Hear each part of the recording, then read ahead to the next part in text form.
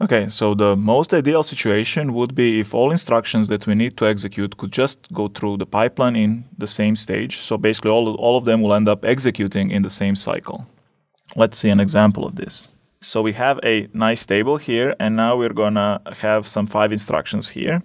So let's uh, have instruct. So here's where we're gonna basically just have our instructions, and let's say that uh, you know the first instruction is an add instruction r1 equals r2 plus r3. I'm going to draw it like this so that we don't have to actually have the opcodes and everything else clutter the screen. And then we have r4 equals r1 minus r5. And then we have XOR r6 equals r7 XOR r8 and then we will have R5 equals R8 times R9. And finally, we will have an add of R4 equals R8 plus R9. So remember, these are instructions, not actual C operations. It's just that I'm kind of showing them like this because it's a more compact representations of them.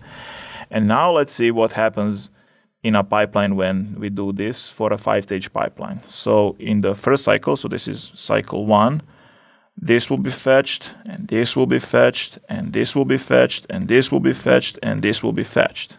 And then in cycle two, we will decode this and read registers, and decode this and read registers, and decode this and read registers, and so on. And now, if you remember your five stage pipeline, the time comes to execute these things. So if we just get all five of them here and execute them, we will have a very good CPI. In reality, what's going to happen is that we are going to eventually write the results for all of these things. And if we had more instructions here, it wouldn't matter. All of this would be done in basically five cycles. So if we have five cycles for a very large number of instructions, the CPI is going to be five cycles for pretty much an infinite number of instructions, which is going to be very close to zero. So we get a CPI for zero, which is very good. You know, you are getting basically zero, almost zero cycles per instruction. So that's wonderful. So what's wrong with something like this? Well, what's wrong with it is that when we execute these instructions, what has happened is this instruction and this instruction have read registers at the same time. Remember that the decode stage is also the read register stage. So what happens here is we are here adding the R2 plus R3.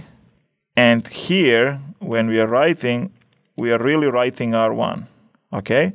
But when we are adding here, I mean, we are subtracting R5 from R1.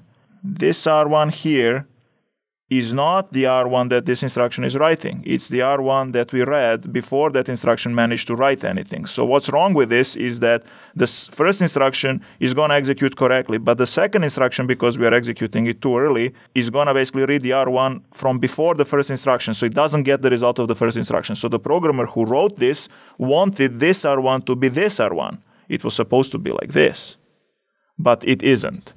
And that means that uh, we will have to do something about this. We cannot just let instructions execute in the same cycle. We actually have to figure out which ones can execute and which ones cannot execute in the same cycle.